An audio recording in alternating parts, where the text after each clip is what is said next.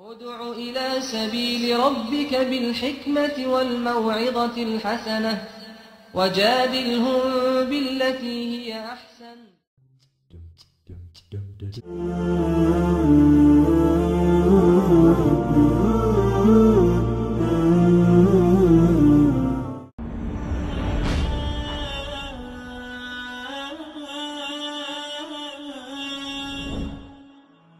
Just imagine your loved one. Could be your wife, could be your son, could be your daughter, could be your father, could be your mother, could be your uncle, could be your brother, could be your sister. Anybody that you know you have a connection with went to another country and they learnt another language. And that language you didn't know. You didn't know what that language was. And they hadn't had contact with you. Let's assume there's no internet. Allahu Akbar. Let's assume there's no internet, no email, right? So you're waiting for the post. No contact, no contact. One year passes, two year passes, no contact. Like it used to be. Like it used to be, right? People call it snail mail. Like it used to be.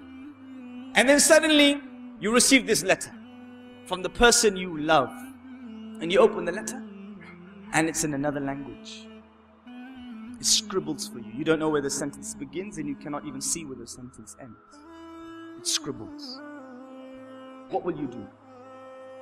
What will you do to understand this message from somebody you love that you have not heard from from a very long time? What will you do? You will rip open that envelope, you will unfold it very, very quickly, you will be in a huff and a puff, and you will go insane looking for somebody, please, please, somebody translate what my loved one wants. Translate what is the situation of my loved one. You don't know who knows. I will go to him.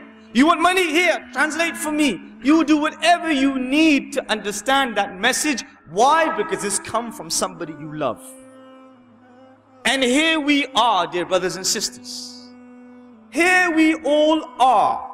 We sit in day in, day out. The Quran on our shelves. The message, the letter sent by the King of Kings, the Lord of Lords.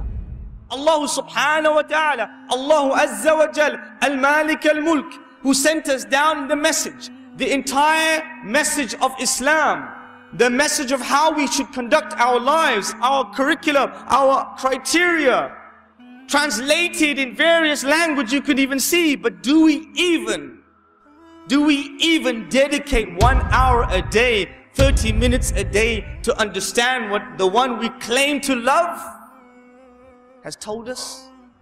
Knowing that every harf we read, not word, every letter, whether you struggle or you don't struggle, whether you can do the ain or the da or the dha or the ta, whether you find it difficult or not, do you make that effort to memorize, read, understand, dedicate, and translate that message into your heart from the one you love? How long are we going to wait?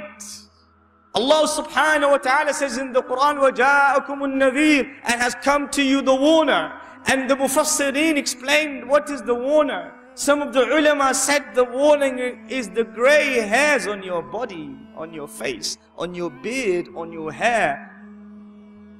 What are we going to wait for? What's the pause button on for? What are we waiting for? What's holding you back? The news is that interesting? The satellite dish is that absorbing? You're that tired? This is the letter from the loved one. This isn't like any other speech. The comparison, like I said in the hadith, between the book of the speech of Allah and all other speech, all other books. All those Google documents and millions and millions of speech on this planet compared to the book of Allah is like Allah compared to his creation. This is the Quran, dear brothers and sisters, that we find ourselves so distant from. Alif Lam